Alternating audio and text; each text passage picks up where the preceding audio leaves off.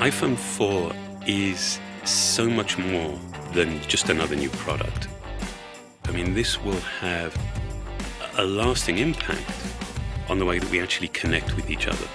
It's going to change the world more than anything since Jesus Christ. And to be honest with you, it blows Jesus Christ out of the fucking water.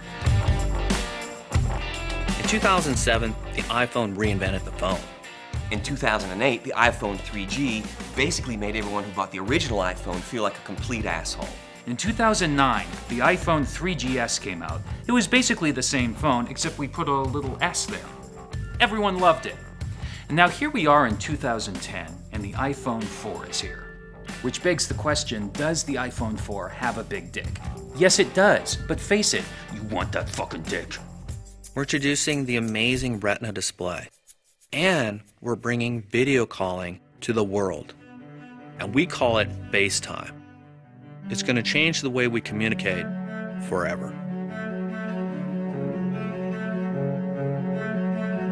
The very first time I had a FaceTime call, I shit my pants.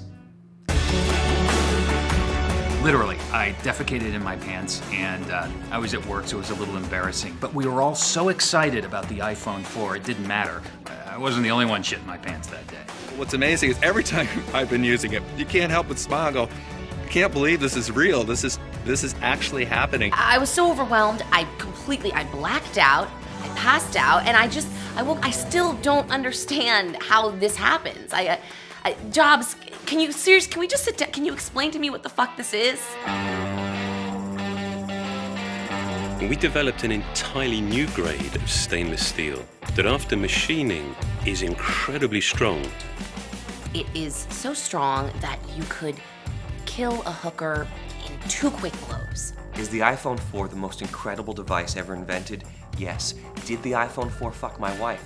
Yes. Did it give her five orgasms? No. Nine. It gave her nine orgasms. I know. And what's my record, babe? Zero. Zero, except for the time in now. All right, and this is a little embarrassing. A little while ago, I was irregular. I was constipated. I was under some stress, and I hadn't had a real bowel movement since I'd been to Hungary two weeks before. I looked up the TurboLax app on my iPhone 4. I insert the iPhone into my hiney hole. Two minutes later, I am walking on sunshine. Just pooping like a bandit. The iPhone 4 is literally sucking my dick right now as I'm speaking to you. I can make calls, receive calls, send and receive emails, all while getting my dode slarved.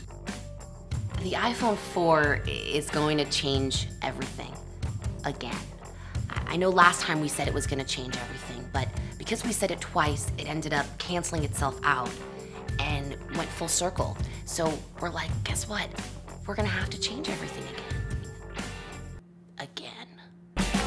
This is going to change everything. All over again.